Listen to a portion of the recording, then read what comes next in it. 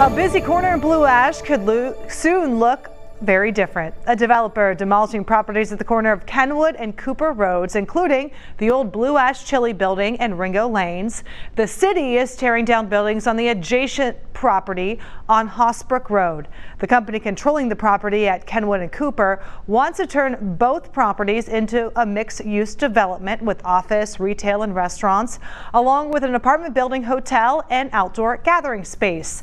City officials say no decision has been made yet about the future of those properties.